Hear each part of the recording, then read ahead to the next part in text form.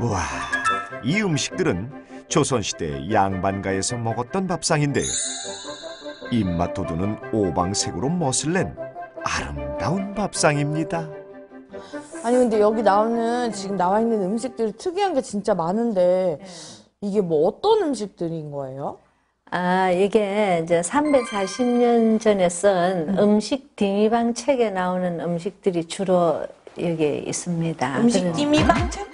예. 어? 그게 뭐지? 어, 요즘 이제 한자로 알지자, 알지. 알지를 조선시대에 뒤로 썼고, 또 맛있는 지도 있거든요. 그것도 뒤로 썼습니다. 그래서 음식의 맛을 아는 방법을 적은 책이다. 또는 맛있는 맛을 적은 책이다. 그렇게 보면 됩니다. 아, 그 비법서 같은 거네요. 근데 이 독특한 형태의 이 음식 과연 정체가 뭘까요? 생선 아닌 것 같아요. 생선 아닌 것 같죠. 네. 안에 들어간 재료가 꿩고기하고 버섯. 그러면은 껍질인데 되게 고기같이 부서지는 것 같아요. 바다의 맛이랑 고기의 맛이랑 야채랑 다 있는 거네요. 예, 다. 들어있는 거예요. 너무 맛있다 진짜. 네.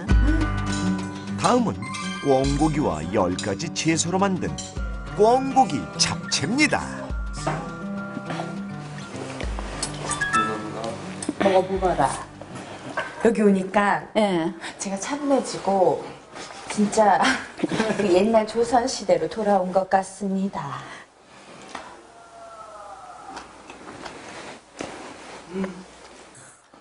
아무 말도 못 하겠어요, 어머니. 진짜 예. 너무 맛있습니다. 미나리 들어가니까 음. 딱 잡아준다 되나? 향긋하고. 네, 향긋하고 네. 네, 좋은 것 같아요.